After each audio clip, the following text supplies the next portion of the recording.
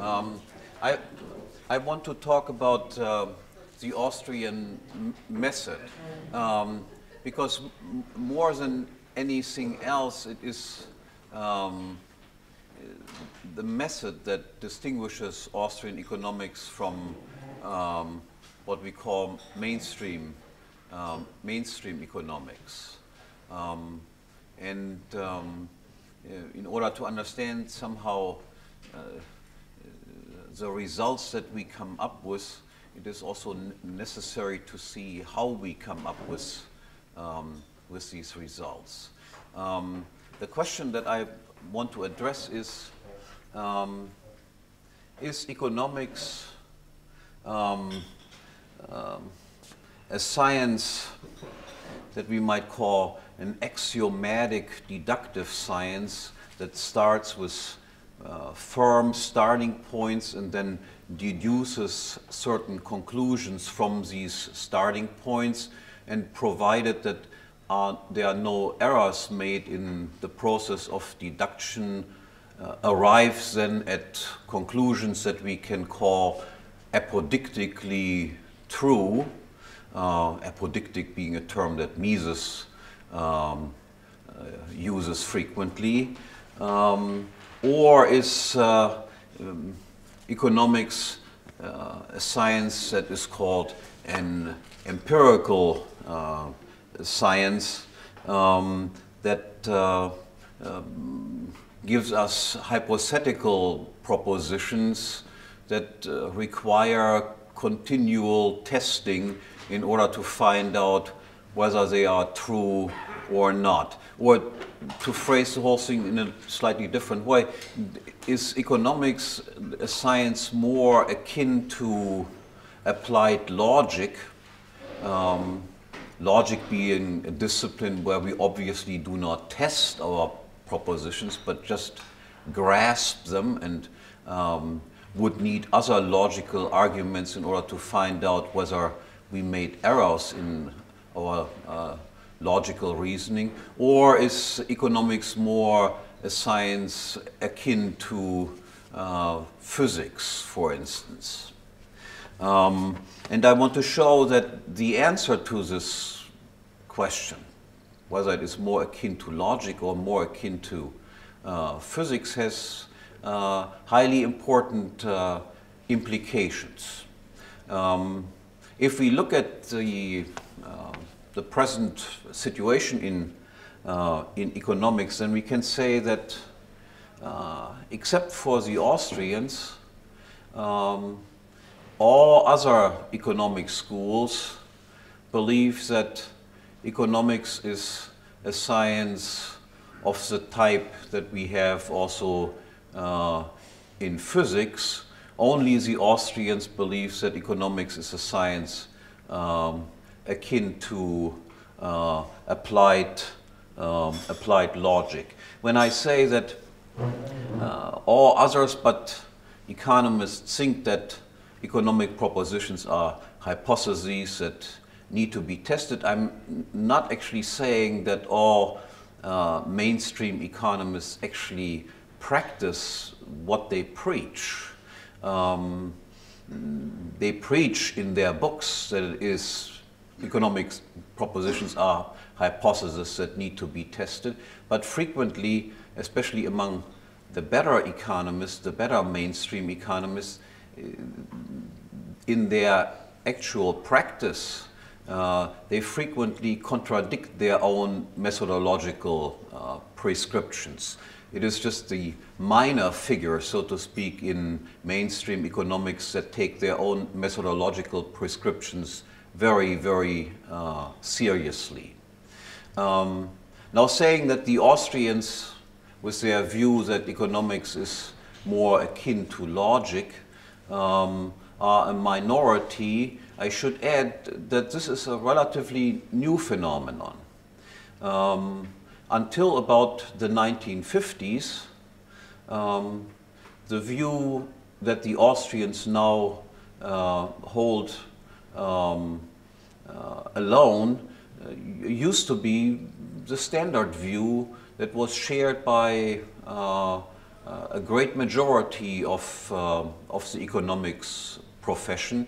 Uh, for many, many years, the most important book on economic methodology was a book written by uh, Lionel Robbins, uh, The uh, Nature and Significance of Economic Science that was initially published in the early 1930s. And Lionel Robbins who was the chairman of the economics department at the London School of Economics um, and uh, was also responsible for recruiting Hayek to come from Vienna uh, to London. Uh, Lionel Robbins had, uh, uh, as a young man, frequently visited Vienna and participated in, um, in uh, the famous Mises seminar that he held uh, in Vienna and was very much influenced by the methodological views that, um, uh, that Mises uh, propounded. Uh, you can still, uh, this uh, book, Nature and Significance of Economic Science, is still in print. Um, and if you look at the index, for instance, you will find that there's no other person mentioned more frequently in the name index than, uh, than the name of uh, Mises. And if you go back into the 19th century, um, you will find that um, actually most economists in the 19th century shared the view uh, that nowadays is only propounded by the Austrians, uh, that uh, economics is some sort of um, yeah, sophisticated um, uh, common sense, uh, logical type uh, discipline. Um, you can find that at um, Jean-Baptiste Say, for instance, or uh, Nassau Senior or um, John Cairnes.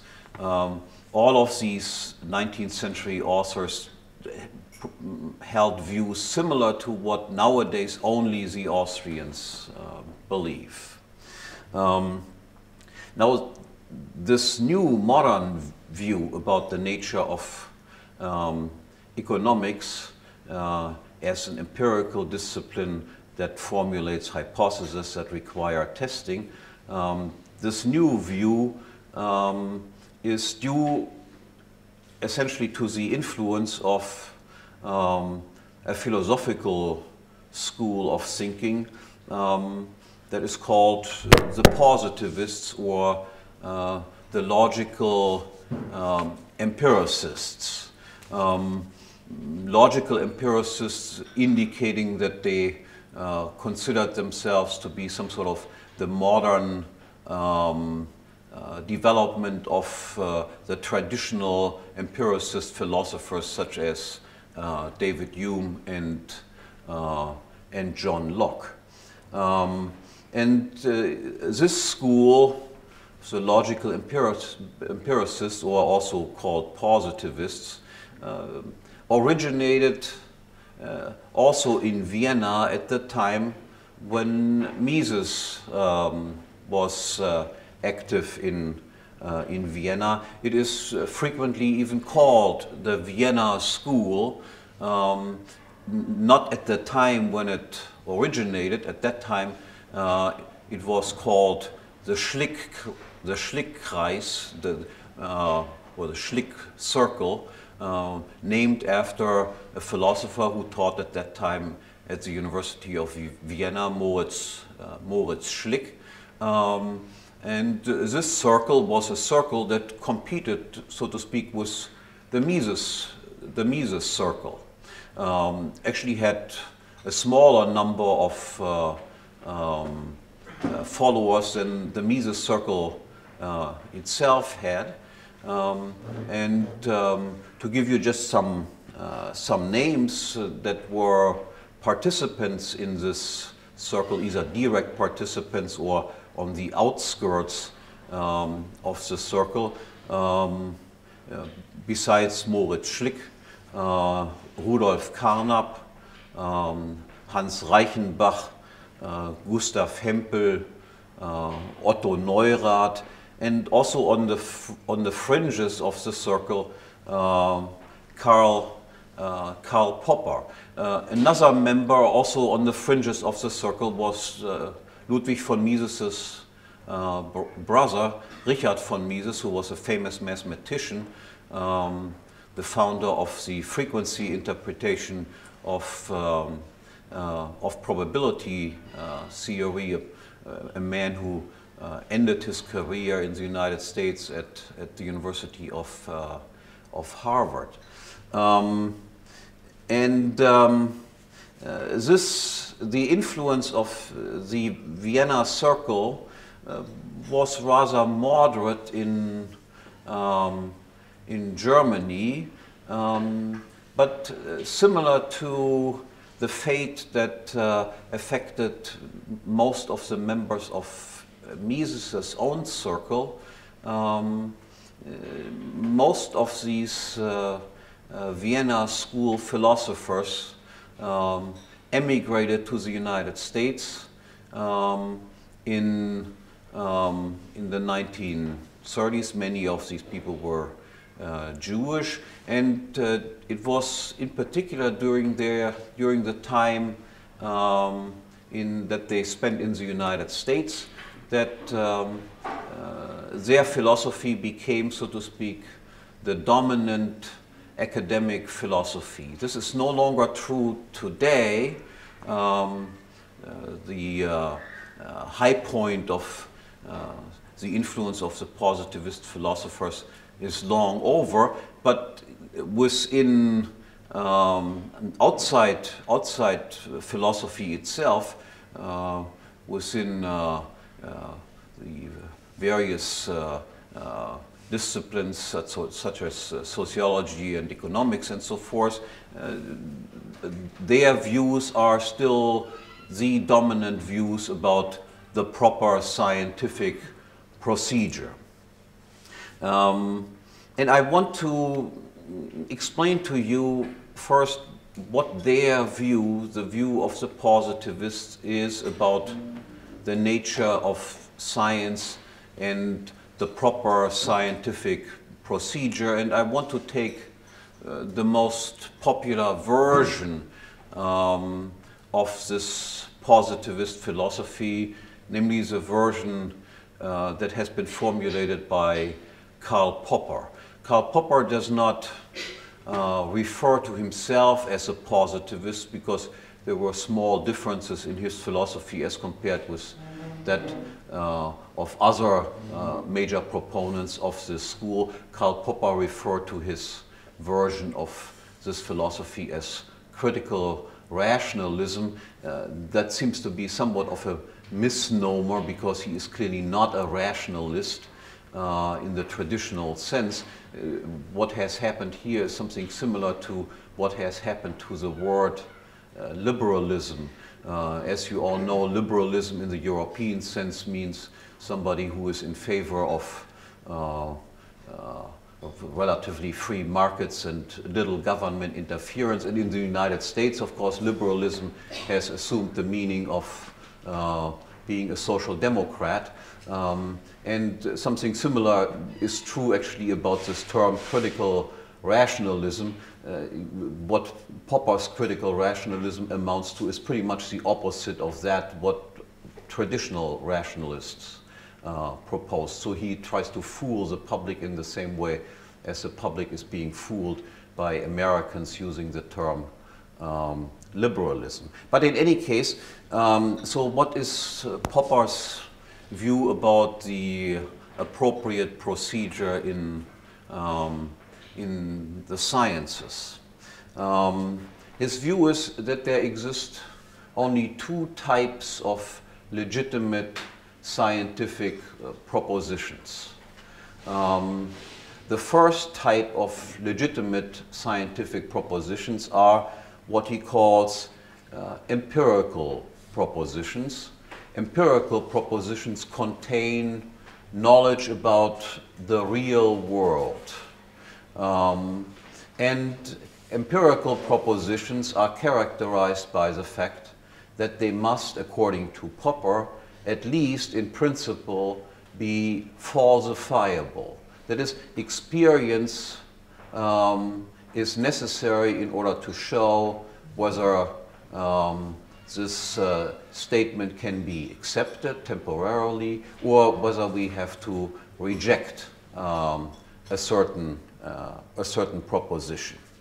Um, and um, importantly,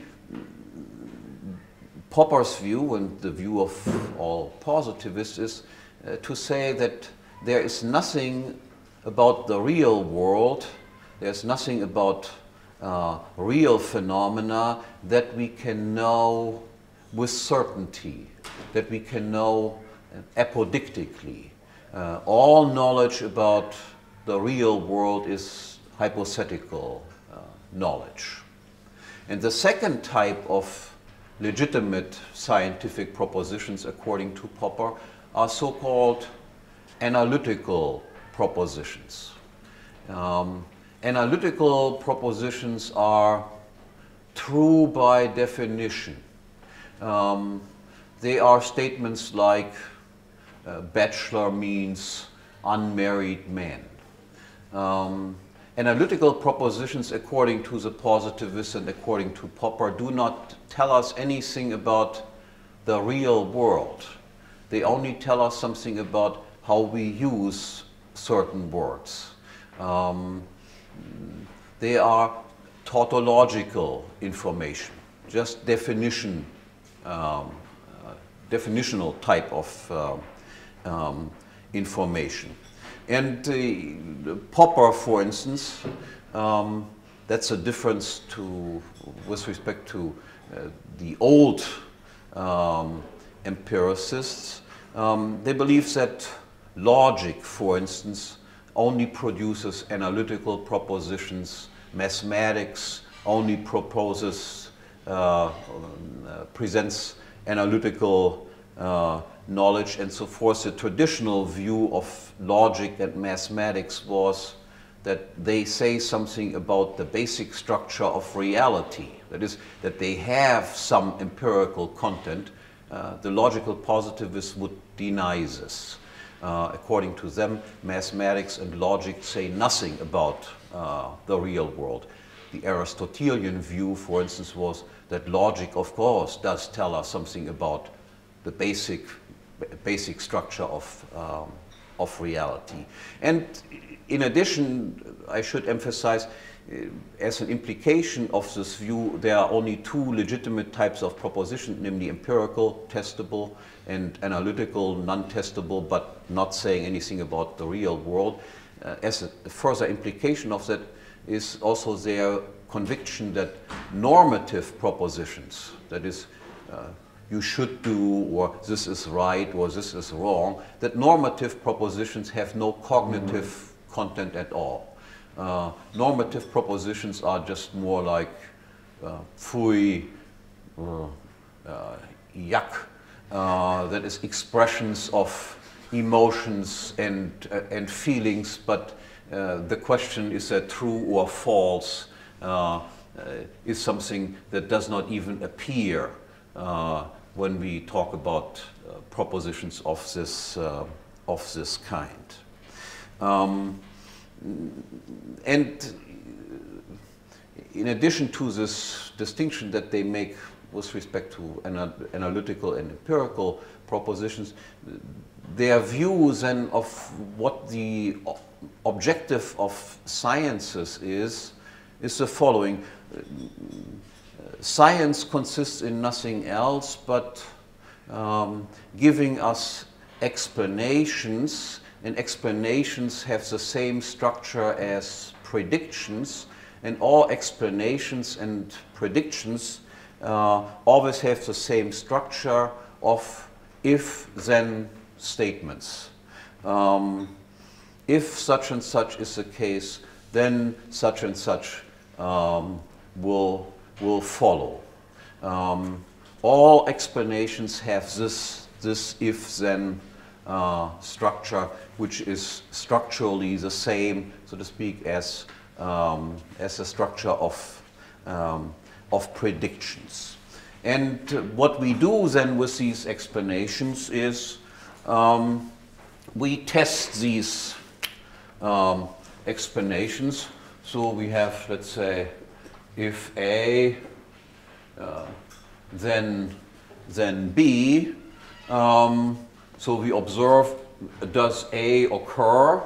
And then we find out, did B indeed follow as we hypothesis, uh, hypothesized?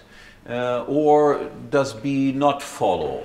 Um, now, if B does follow, then we speak of, in Popper's word, of a confirmation uh, of our hypothesis. But a confirmation, this is important to recognize, a confirmation of a hypothesis is not the same thing as a verification. That is, a confirmation does not show us that this is really true. Uh, it only tells us that so far it has not been found to be false.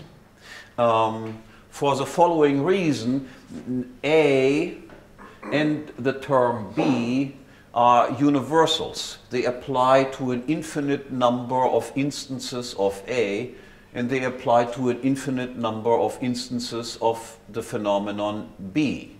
Um, so even if we find in one instance that A was indeed followed by B, this does not show that for all instances of A, uh, B will indeed follow. That's why we only can say confirmed, meaning so far we have not found it to be false. The other result would be, okay, we observe A to occur, but B does not um, follow A as we hypothesized. In this case, we would say uh, this is a falsification. Okay. Now, again, it is important to realize what falsification means and what it doesn't mean. Um, falsification in Popper's view also does not mean that we have now uh, shown once and for all that there exists no relationship between A and B as it was hypothesized. It only shows that the relationship between A and B cannot be as simple as it was uh, formulated in the initial hypothesis. It might well be that if we control for some other variable z or so, uh, that we then do find that A was in fact followed or is in fact followed by, um, by B. Um, uh, so we might well maintain uh, our hypothesis or the core of our hypothesis that A and B are related, except they cannot be quite as simply related as the initial hypothesis stated, but if we control for something else, then we might still find out indeed they are in some way related as we initially um, hypothesized. Um, so neither a confirmation is, so to speak, a final result that we reach. We cannot stop with that. Nor is a falsification in any way uh, a final stopping, stopping point, uh, it might just indicate that we have to reformulate our, um, our hypothesis. Um, I should also say, as another tenet of uh, the positivist philosophy, um, they believe that there exist uh, only two types of definitions um, there exist what they call um, ostensive definitions. That is, we point to something and say, this is uh, green, or this is a tree, or this is a boat. Uh, that is pointing to something and explaining what the meaning of a certain word is by pointing to it. And the second type of legitimate definition are what they call stipulative definitions. That is just defining again one word by, uh, by another. Um, again, would be uh, uh, men in English means the same thing as man in German. Um, now, before I come to a, refutation of this um, positivist uh, view uh, about the nature of science, I want to explain to you uh, the relativistic implications um, of the whole um, uh, positivistic program. First, again, let me remind you of the fact that um, that normative propositions uh, are not cognitive propositions at all. So they take some sort of relativistic position when it comes to what is right, what is good, what is wrong. Those are things alleged, about which we can make allegedly no judgment um, what's, whatsoever. Um, from which it follows that the positivists adopt some sort of program like uh, social, uh, social engineering. Karl Popper actually uses the term uh, piecemeal uh, social engineering. Um, now, um, I want to um, I want to look at some elementary economic propositions and, um, and raise the question whether these um, elementary economic propositions are in fact hypotheses as they must be according to, um, to the positivists, according to Popper. Um, take for instance a statement like, like this. Uh, in every voluntary exchange between two individuals, uh, both exchange partners must, at the outset of the exchange, expect to benefit from the exchange, otherwise they would not go through with the exchange. Uh, in every voluntary exchange, the goods or services that are being exchanged must have unequal value in the eyes of the two exchange partners. That is to say, whatever I give away must have, in my view, lesser, lesser value than whatever I acquire in turn, which must have, in my view, a higher value than what I give away. And uh, the two exchange partners must have opposite preference orders. Whatever I consider as having a higher value must be considered uh, as something by the other exchange partner as having a comparatively lower value. Now, is this a hypothesis? Uh, how would we even go about testing this? Is there any way that we could ever find that this might be false? How would uh, an experience look like that would show us that this is false? Uh, now, you immediately realize that this is somewhat difficult to imagine how this should be a hypothesis and not something that once we hear it formulated, recognize as being necessarily true and saying something about reality as well namely saying something about the phenomenon of voluntary exchanges. Um, or take another example. Um, if we raise the minimum wage per hour to $1 million um, tomorrow uh, and enforce this to the hilt, um, then uh, mass unemployment will result. Now, is this a hypothesis that requires any type of testing? Or does that not simply follow from the fact that $1 million is significantly more than what is currently paid for wages and that by outlawing certain exchanges between people uh, from being conducted that are below $1 million, there will be plenty of people, employers who will not employ other people, and employees who will not get any employment. Is that a hypothesis, or is that something that we can know ahead of ever trying this sort of thing out? Um, or take this example.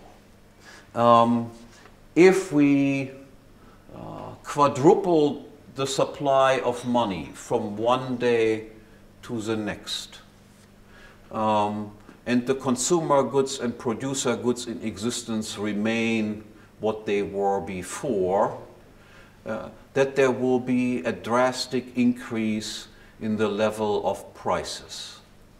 Um, is that a hypo hypothesis that requires any type of testing, or is that something that follows simply um, from the way that we describe the situation, uh, that follows simply from what we know about money, what we know about consumer goods, what we know about producer goods, and so forth. Um, or last example, um, under socialism, there exists no private ownership in factors of production. All factors of production are owned by one entity, namely the state. If there is no private property in factors of production, then there exist no prices for factors of production. And if there exist no prices for factors of production, then, not, then we cannot engage in cost accounting. That is, we cannot compare the input prices with the output prices that we get for our product, and accordingly, we cannot determine whether we use our input factors efficiently or inefficiently, whether we produce wastefully or not wastefully. Again, is that something that is only hypothetically true, or doesn't that follow automatically, so to speak, simply from the, from the terms that, that, we, um, that we use? Um, and don't we know the result of this without trying it out, or do we have to try it out? Um, now, I take it for granted that when you hear these examples, that the first impression that you have is uh, all these statements say something about real phenomena. They say something about the world as it is. But on the other hand, they are not falsifiable by experience. We can recognize them as necessarily true, um, as something that simply follows from the way that we described the situation. And this, as I indicated early on, this of course was a view that economists until the 1950s held. Almost every economist thought it's just ridiculous to consider these things to be hypotheses that require any type of testing. But according to the positivists, all of these statements must be hypotheses. Now, if they are only hypotheses, then the following must be possible. That is, we can deny these statements, that is, formulate the opposite of these statements, and we would not, on the face of it, say something that is nonsensical. If we formulate the opposite, that is just as legitimate a hypothesis as the hypothesis, as the statements that I just uh, proposed. For instance, going back to the statements, um, in a voluntary exchange, um, uh, not uh, both partners do not expect to gain from the exchange. Uh, the preference order uh, is the same for both individuals. Um, and things are being exchanged because they have equal value. Now, this should be just as a legitimate hypothesis as the one statement that I formulated before. Um, now, but on the face of it, you realize, of course, that this is a nonsense statement. Um, but according to positivists, this is just as legitimate as the other one. We would only have to try it out and then find out which one of these two versions is right. Uh, that is, there are only prospective winners, not prospective losers. Uh, there must be opposite preference orders, or there must be no opposite preference orders. Uh, goods are exchanged because they have unequal value or they have equal value. Allegedly, only a test would tell us which one of these two incompatible hypotheses is correct. And now, again, I'm asking, uh, try to design a test that would just decide between these two incompatible interpretations, with these two incompatible hypotheses. I, I, have racked my brains for years and have not come up with a test that could possibly decide this sort of matter. Um, or take, uh, take this example. So if it is just a hypothesis that we, if we increase the minimum wage to $1 million, uh, unemployment will result, we can just formulate the opposite. The opposite would be if we increase the minimum wage to $1 million, more employment will result. Um, that's just as legitimate a hypothesis as the other one. We would have to try it out in order to find out whether one is right, that is, more unemployment will result, or less unemployment, more employment will result. Um, or the example with socialism. Um, it would be just as legitimate to formulate the, as an hypothesis the uh, calculation under socialism is possible, as to say that calculation under socialism is, is impossible. Both are legitimate hypotheses. Uh, and we would have to try out socialism in order to find out which one of these hypotheses is right and which one is wrong. Um, now, all of this, again, as I uh, said before, um, strikes me as being um, strikes me as uh, uh, as absolutely absurd. Do we indeed have to introduce socialism first in order to then decide uh, whether calculation under socialism is possible or not? Or don't we know that ahead of time? Doesn't that simply follow from the way that we defined what socialism is? Do we indeed have to just first try out and set a minimum wage at $1 million in order to know whether unemployment will increase or decrease?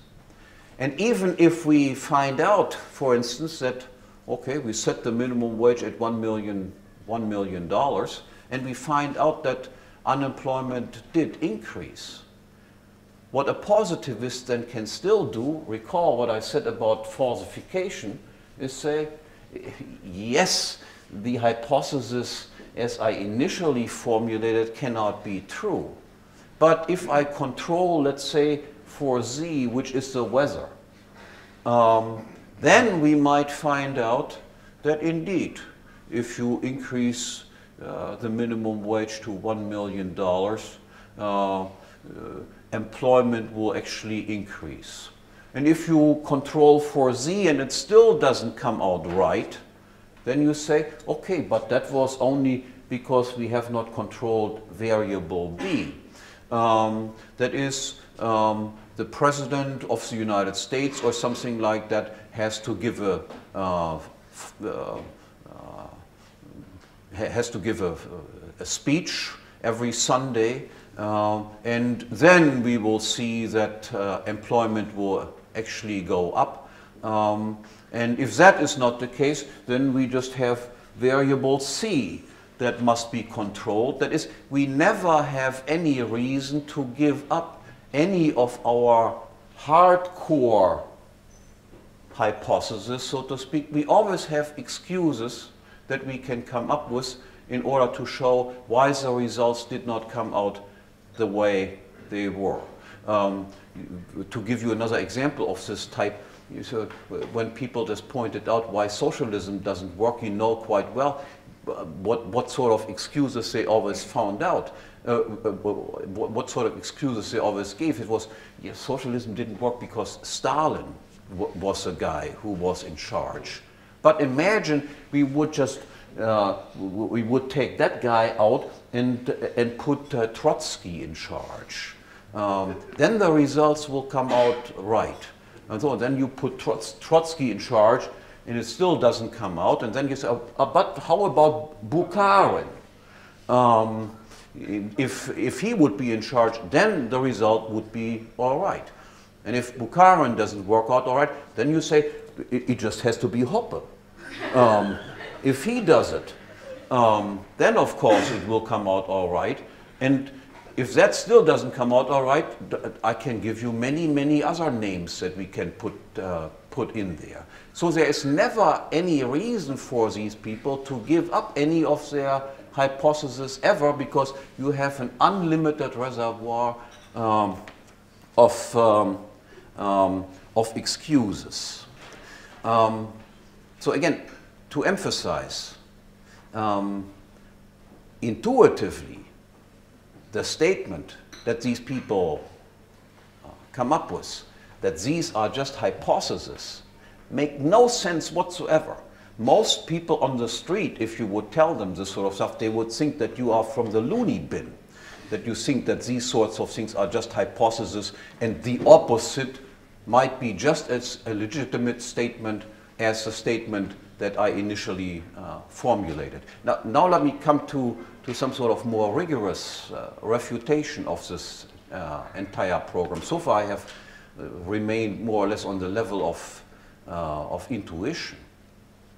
Um, now, the more rigorous uh, refutation goes something like this. For that, we use what is called self-referential arguments, a standard technique in, um, in philosophy. Um, so we ask the positivists who say there exist only empirical statements and analytical statements, we ask them back, now, what sort of statement is this statement? That all statements are empirical statements or analytical statements. Uh, according to their own doctrine, there are only two answers that we can give. The first answer is this statement is itself an empirical statement. Now then we can say, okay, that's just a hypothesis, right? Why should I accept that? Uh, I can just formulate the opposite hypothesis just as well. Uh, you have not given me any reason why I should believe what you are telling me. Okay? The other alternatives that they can propose is, this is just an analytical statement. But if it's just an analytical statement, then I, then I can say, then you just simply define things like that. Uh, then I can, of course, define my, I, I, I can define exactly the opposite as well. Uh, again, you have not given me any reason to believe that this is the right procedure uh, uh, that we should adopt in, uh, in sciences, that there are only these two types of statements. And then there exists, of course, the third possibility that they have, and that would, to, would be to say uh, this statement, that all statements are empirical or they are analytical, this statement is neither an empirical statement, that is neither hypothetical, nor it is just a definition, it is just something that is true about uh, reality and it is at the same time a non-hypothetical truth, which is precisely what Austrians claim can be done. That is, they claim there can be statements about reality that are non-hypothetically true. Um, but then, obviously, this doctrine would be internally inconsistent. Um, or take, uh, take uh, the second statement of the, um, uh, of the logical positivists or of the Popperites. They say um, all explanations um, are uh, if-then statements and these if-then statements are hypothetical statements. Um, now then we have to ask what is the status of this explanation of what an explanation is. Um, and again, we have, uh, we have only two, two answers that we can give according to their own doctrine. The first answer would be just as, a, just, as just a hypothesis of, of what uh, uh, explanations look like. And then we would have to say, so what? Uh, then we can formulate other hypotheses just as well. Or they can say, this is simply what we define an explanation to be. And then I can say, yeah, but then, then I'm free, of course, to define it in any other way also. Again, you have not given me any type of uh, uh, convincing argument to believe what, uh, what, you are, uh, what you are saying. The same thing with definitions. If all definitions are uh, either ostensive or stipulative, then we have to ask them, yeah, but, but, but what is the definition of definition? Uh, uh, is that a stipulative definition or is it an ostensive definition? It is obviously neither one. This must then be what we call a real definition, a definition that defines what definitions are in a correct way. And it is neither stipulate, neither uh, defining one thing by another word, nor is it an ostensive definition just pointing out such and such is a definition. So you see, the entire doctrine uh, is riddled with, with self-contradictions. Now I want to show in the final step of the argument that, um, um, that this procedure that Popper and his followers advocate that we should adopt in the social sciences or in all sciences, um, whether we accept that in the natural sciences might be one thing, but in any case, it cannot possibly work um, in, um, in the social sciences. Um, for this, let me just uh, indicate briefly how they proceed, uh, how they uh, suggest that we should proceed in the sciences. So we formulate a hypothesis, and uh, I use this, uh, use some simple uh, regression equation. So y is the variable that we want to explain, and we explain variable y by variable x, and here we have uh, some regression uh, constants plus some, uh, plus some error term. Um, and um, so then we collect data and then we find, uh, then we uh, get some sort of estimates for these types of uh, constants.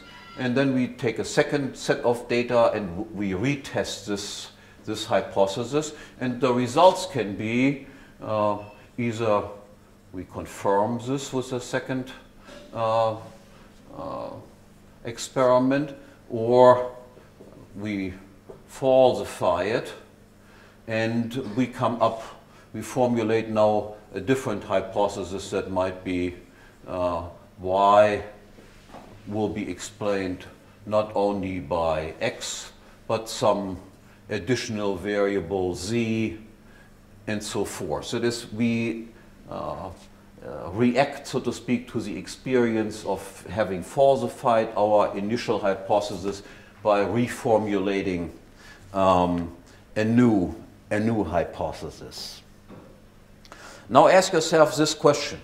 Um, why is it that we can, well, what is necessary in order for us to say we have in the second experiment confirmed the first hypothesis.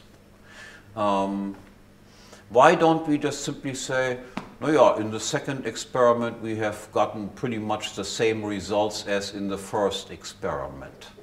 Um, to say we have confirmed it is more than simply saying the second time we have observed the same thing as we have, in the second instance, we have observed pretty much the same thing as we have observed um, in the first instance. Um, um, to say this is just a repetition means no, yeah, things happen to be the same, the same way, but that does not mean there's any confirmation. Um, in order to say this is a confirmation, we must make the assumption that the nature of things actually remains the same in the course of time. Uh, and because of that, we say it is a confirmation. Um, the same thing with falsification. Um, we could say, okay, the next time we observed something different than we observed the first time. Um, so nature of things changes. Sometimes things come out that way, sometimes they come out that way. Um, why do we say th the second experience falsified the first one? Um, why do we say because we did not observe the second time exactly the same thing that we observed this, uh, the first time, that that shows something that there was something wrong with the initial hypothesis? And the answer is, again, we can only do that if we assume that the nature of things remains, remains the same. And because the nature of things remains the same, then the same thing would have to show up again over and over. And if it doesn't, then there was something wrong with our hypothesis. But if we think that nature of things can change, then we just have a result. So first we observed this, then we observed that. So what? Uh, that's not a falsification. Just one time it was this way, and some, one time it was that way. So we must make an assumption here in order to say confirmation or falsification. And the assumption that we must make um, is that there exists, so to speak, uh, prediction constants that are time invariantly true, that do not change in the course um, of time. Um, and the question that we now have to address is, uh, can this assumption, that is, the nature of things does not change. There are time invariantly operating constants uh, that we can use in order to predict certain results. Whether we can make this assumption as soon as this y is a human action. And there I would venture to say that to make this assumption, there exist time invariantly operating causes on the basis of which we can predict certain phenomena, that this assumption cannot be made as soon as, it, as, soon as we are dealing with human action for the following, um, for the following reason. Uh, yeah namely because all actions are influenced by, uh, by human knowledge. Um, what we do or don't do depends on what we know about this or that, what objects there are, and so forth. Um, and it is impossible for us um, uh, to predict our own future states of knowledge. And that you can see this, you can see by just looking the what Popperites tell us to do. What they tell us to do is you should operate in this way.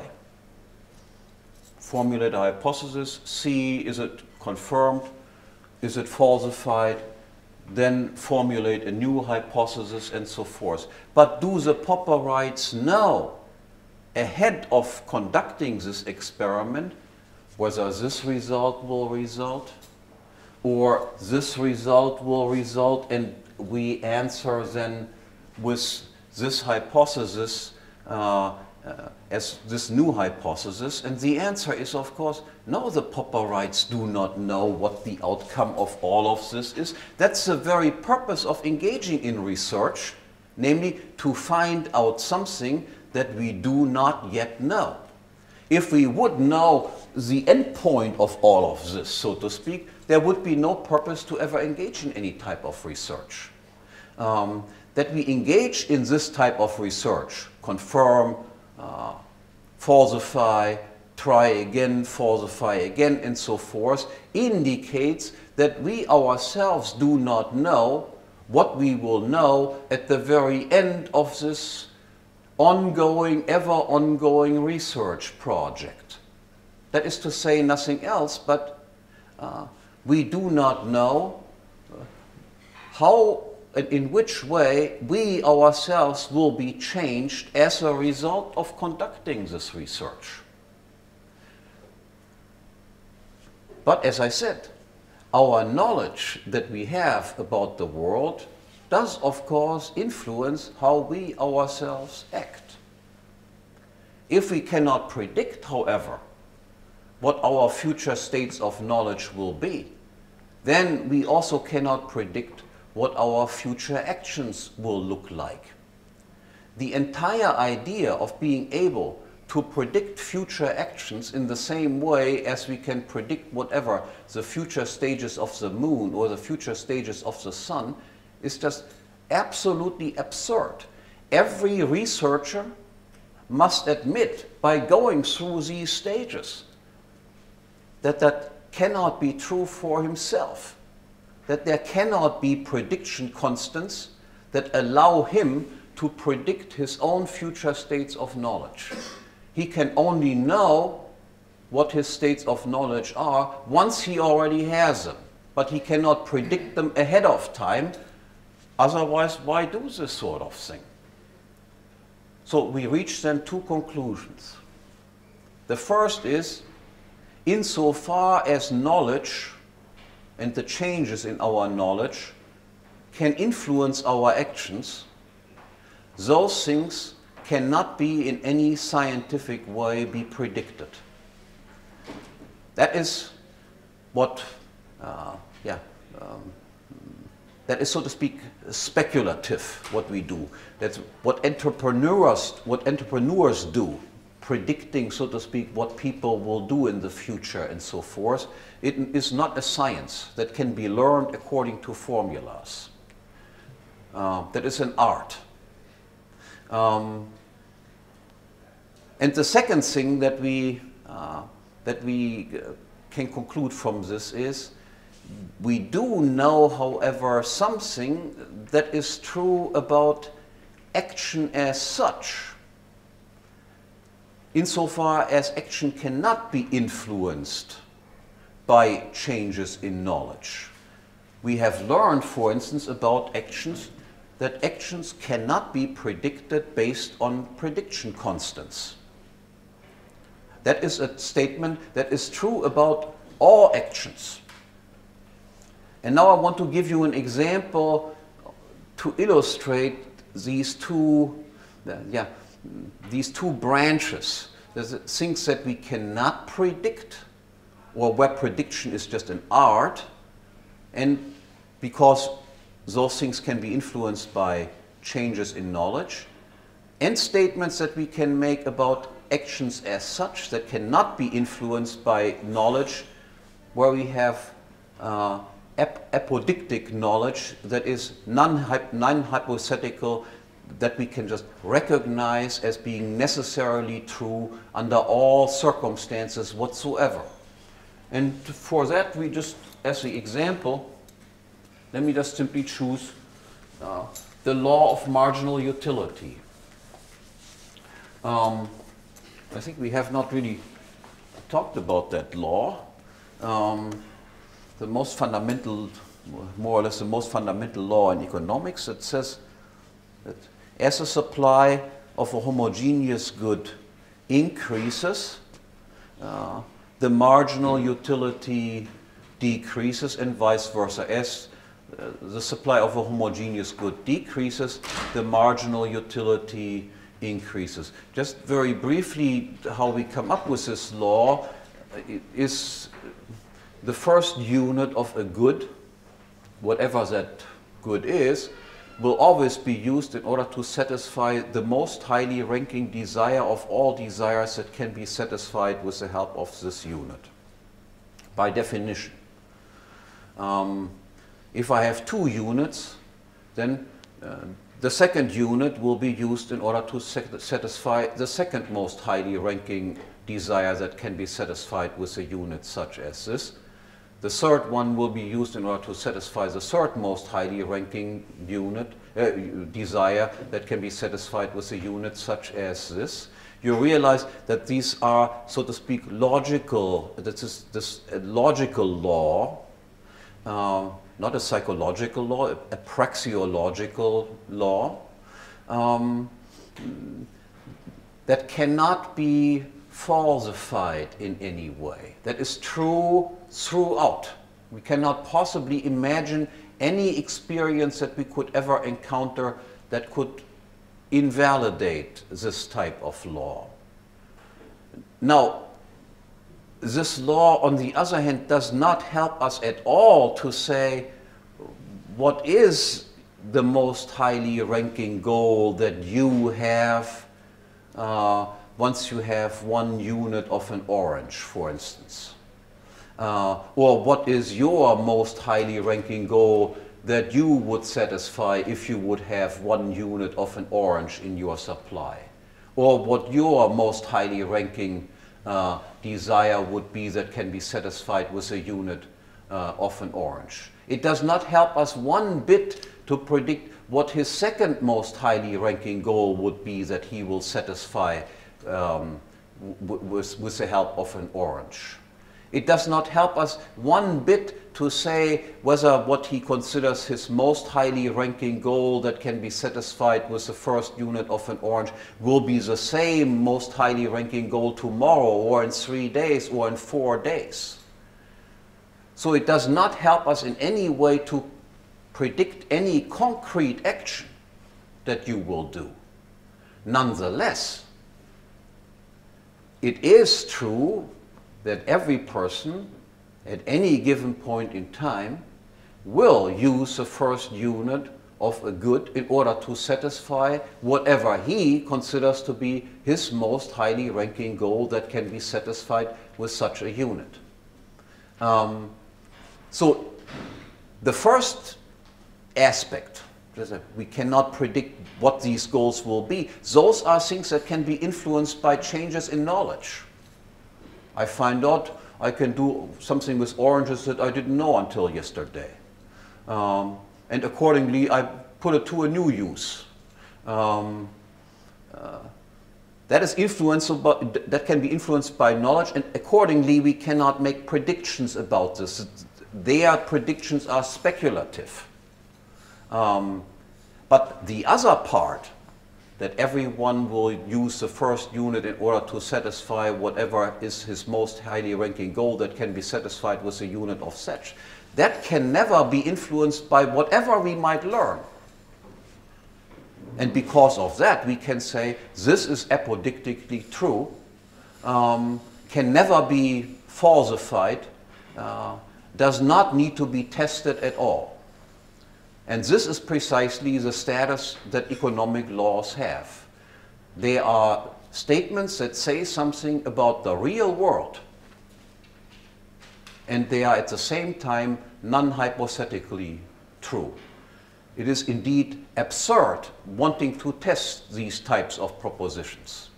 Uh, what the positivists do is frequently things like um, you have a statement, let's say, a ball cannot be red and non-red all over at the same time. That's a logical truth. Um, what they do is, oh yeah, they look at the ball and say, yes, indeed, this ball is not red and non-red all over at the same place, but maybe we should just finance an expedition to Australia and see if we find balls that are red and non-red all over at that place. Uh, of course, requiring huge, huge, amounts of travel, travel expenses to do this sort of stuff, in order then ultimately to show only what we could know in, in, in advance. Uh, or people who, yeah, who try to prove uh, the uh, um, uh, the theorem of uh, Pythagoras uh, by measuring uh, sides and uh, and angles, not recognizing that the uh, uh, theorem of Pythagoras can be deductively proven. Um, and then, again, measuring, measuring, measuring, and uh, using a huge amount of uh, resources to do it, and come up ultimately with a result that can be shown uh, by purely deductive, by purely deductive reasoning. Um, most of what you find in, uh, in contemporary economics is either, uh, if it is decently correct, they, sh they show something that you can already know in advance, that water is running downward, something like that. And, uh, and sometimes um, they also just uh, prove with empirical methods that water is running upward and that uh, the uh, theorem of Pythagoras is wrong and that uh, balls can be non-red and red uh, all over at the same time. That is either showing something that is trivially true, that for which we don't need any empirical investigations, or uh, presenting ourselves with, uh, with results that are on the face of it absurdities. Thank you very much. I overdrew my time here by much, I have the feeling. Um, thanks in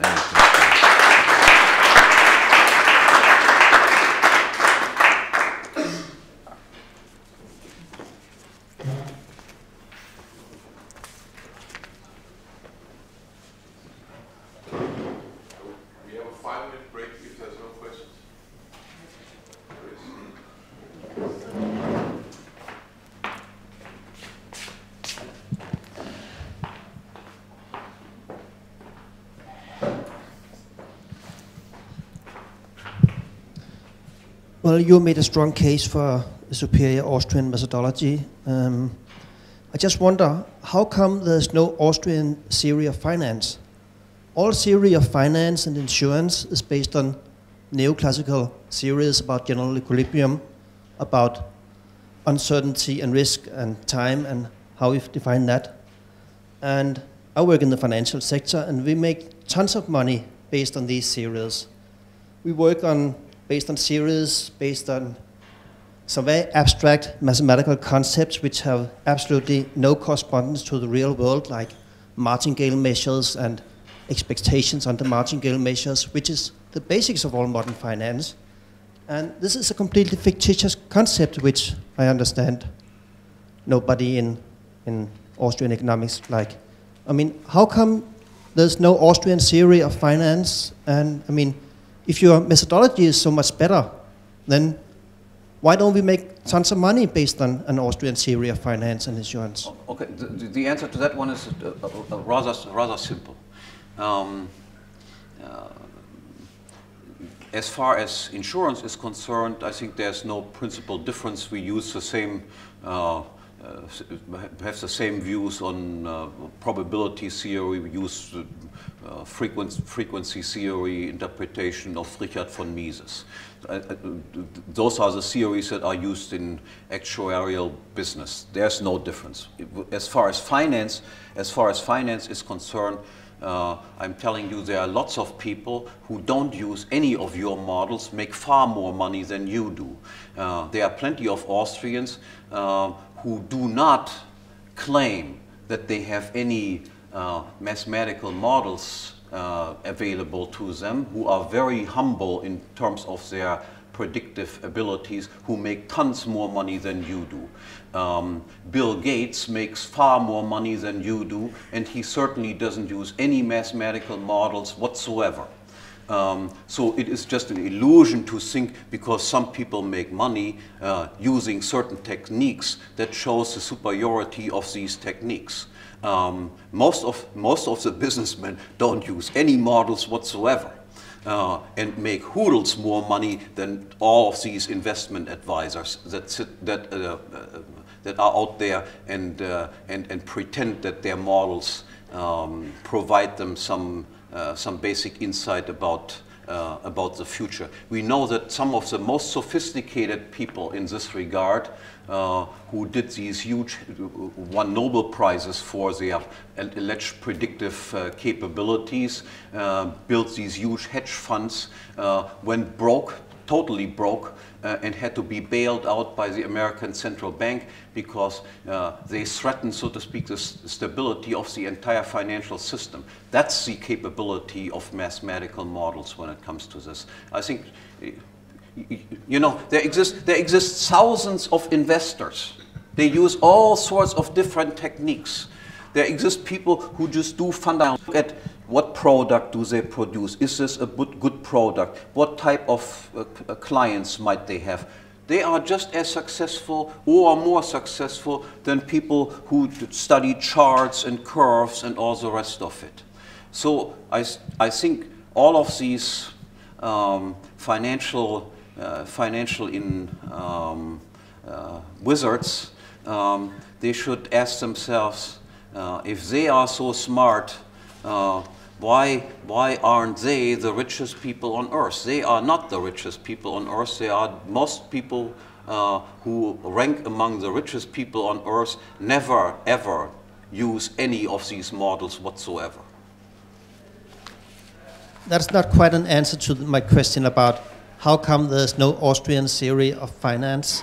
I mean, if you have a superior methodology, you would also be able to develop a superior theory. And then, of course, Bill Gates and a lot of people make money without finance theories. I mean, they have some other abilities, uh, and that's not, that's not the point here. The point is, if you have a better methodology, why don't you make a better theory? No, it is just we are more humble. We know, we, we, we know better. We, we know better. We know better. No, the, our methodology says for instance, that there are no equations that you can formulate that allow you to predict, for instance, the, the movements of the stock market. This is not um, about prediction. This is simply about pricing. I mean, pricing an existing product. I mean, pricing an option, if I say. Just as well raise the question: Why is there no Austrian theory of magic potions or of witchcraft?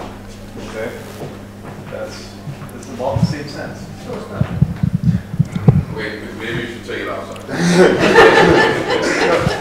and this circle was a circle that competed, so to speak, with the Mises, the Mises circle. Um, actually had a smaller number of uh, um, uh, followers than the Mises circle uh, itself had. Um, and um, to give you just some, uh, some names that were participants in this circle, either direct participants or on the outskirts um, of the circle, um, uh, besides Moritz Schlick, uh, Rudolf Carnap, um, Hans Reichenbach, uh, Gustav Hempel, uh, Otto Neurath, and also on the, on the fringes of the circle, uh, Karl uh, Karl Popper. Uh, another member also on the fringes of the circle was uh, Ludwig von Mises's uh, br brother, Richard von Mises, who was a famous mathematician, um, the founder of the frequency interpretation of, um, uh, of probability uh, theory, a, a, man who ended his career in the United States at, at the University of, of Harvard. Um, and um, uh, this, the influence of the Vienna Circle uh, was rather moderate in, um, in Germany, um, but uh, similar to the fate that uh, affected most of the members of Mises' own circle.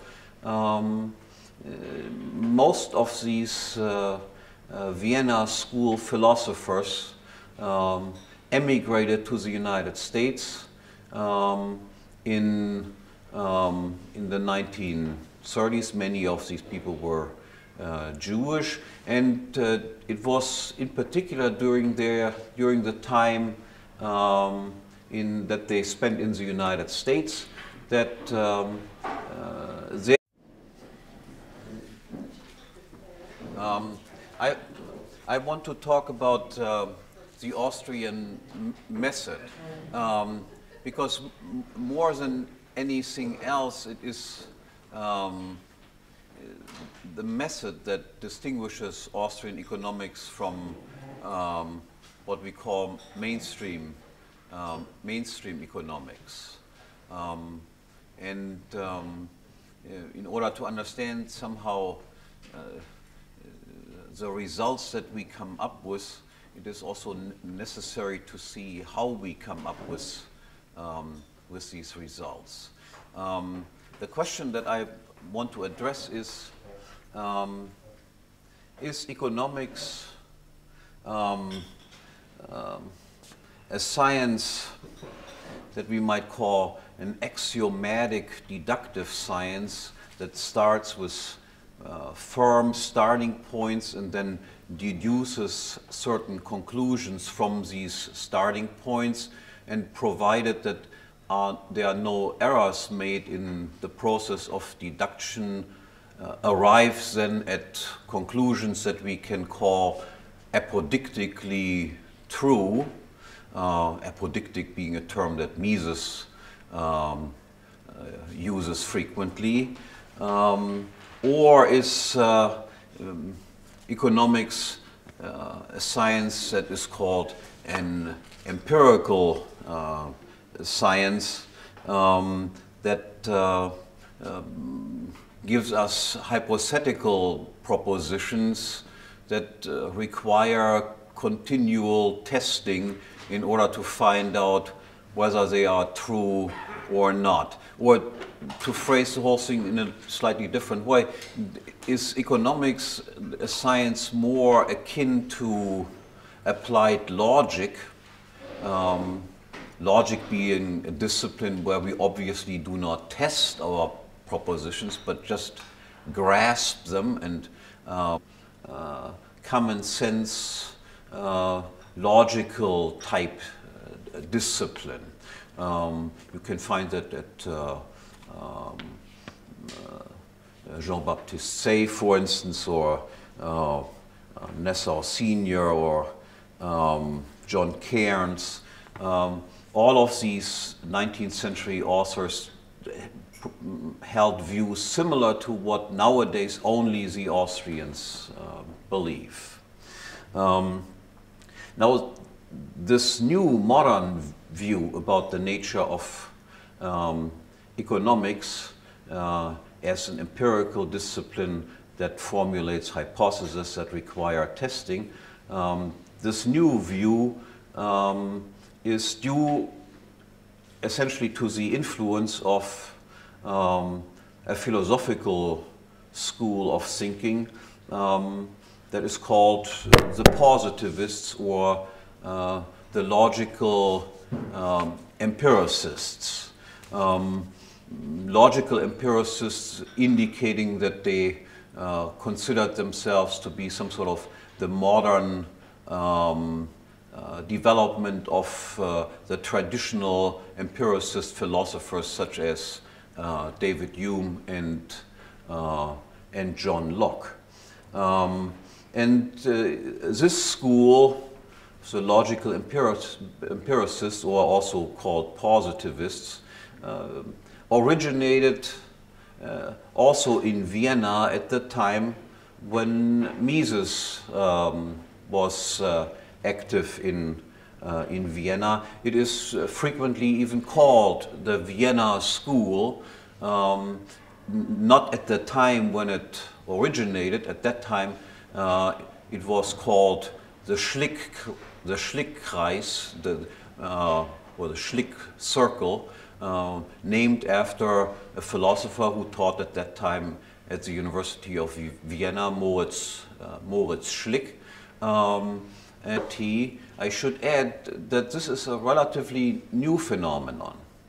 Um, until about the 1950s, um, the view that the Austrians now uh, hold um, uh, alone uh, used to be the standard view that was shared by uh, a great majority of, of the economics profession.